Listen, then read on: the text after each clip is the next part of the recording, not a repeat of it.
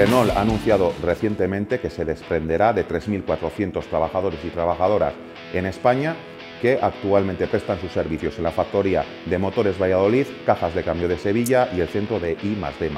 Ha recibido un montón de dinero, tanto de la Junta de Castilla y León, de eh, la Junta de Sevilla, de Andalucía, del Gobierno Central.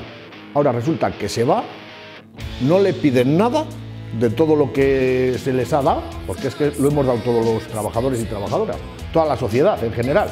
No se le pide nada, se va y aquí no, no pasa nada. Las plantillas de Renault hemos estado eh, esforzándonos en todo momento.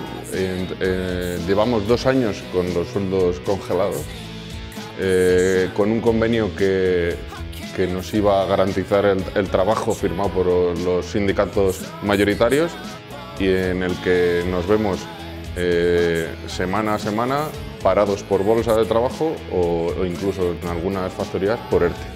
Los trabajadores y trabajadoras están bastante confusos. A partir del segundo semestre de 2023 dejaremos de ser plantilla de Renault.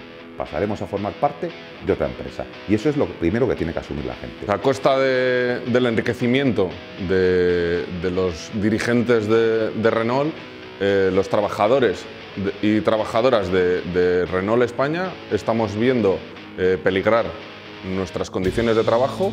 Lo que tenemos que hacer es unirnos y, y trabajar el apoyo mutuo y la solidaridad. Lo único que queremos hacer ver a la plantilla es que la unión tiene que estar por encima de todo. Si la plantilla no se conciencia de que debemos ir todos a lo mismo, poco vamos a llegar a conseguir. Una empresa como Renault ha aprovechado una pandemia mundial para iniciar la cuarta revolución industrial y los obreros no nos, no nos hemos enterado. No nos hemos enterado, no, nos hemos, llegado a la unión, no hemos llegado a decir si nos juntamos todos podemos con el conflicto y nos gustaría que en este caso nos pareciéramos a los franceses.